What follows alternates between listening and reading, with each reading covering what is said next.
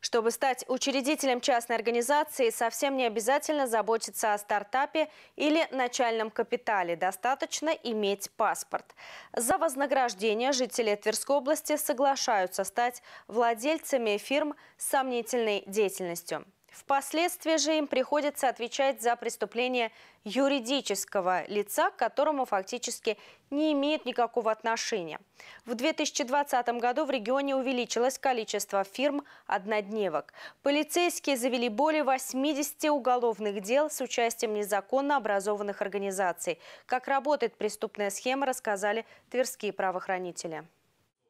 Установить реальных владельцев фирм однодневок – это уравнение с двумя, а то и тремя неизвестными. Владельцы таких организаций – подставные лица. Граждане готовы за определенную сумму в прямом смысле продать свое имя преступникам. Так учредителями таких фантомных фирм становятся студенты или асоциальные личности, которые порой даже не подозревают, для чего создается юридическое лицо. Они создаются в виде промежуточных звеньев между лицом, которое хочет обналичить денежные средства, и тем юридическим лицом, физическим лицом, которые фактически это осуществляют. То есть через эти э, фирмы, технические фирмы, осуществляются чаще всего просто безналичные переводы э, по каким-то фиктивным основаниям платежа, то есть без фактически осуществления какой-либо предпринимательской деятельности. Однако отвечать за грехи организации придется тоже владельцу. Фирмы «Однодневки» позволяют увести через безналичный расчет огромные суммы денег, обходя при этом налоги. Подобные преступления совершаются в разных сферах деятельности, как коммерческой, так и бюджетной, в том числе в сфере закупок. Ответить за подобные действия придется, скорее всего, свободой, а она в любом случае дороже какого-то разового гонорара. Потому правоохранители просят задуматься граждан, а стоит ли оно того.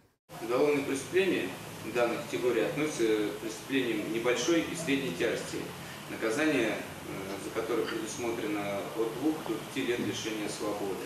В связи с тем, столь мягкая мера наказания не пугает номинала совершать данные преступления, а полученный таким образом законным образом доход является для них ну, более значительным, э, нежели меры, которые они могут понести. В 2020 году было возбуждено 83 уголовных дела, из них 13 дошли до суда. Согласно данным УВД, формальное отношение к регистрационным действиям со стороны нотариата и налоговой службы способствует совершению подобных преступлений. А потому в целях профилактики следует тщательнее проверять регистрируемых лиц по всем возможным базам. Инспекторов к тому же должно насторожить, если будущий коммерсант приходит в сопровождении третьих лиц. Именно внимательность работников служб и банковских работников зачастую помогает пресекать эти преступления. Однако и концы преступной цепочки все же следователям удается достать из воды и выявить истинных владельцев таких фирм.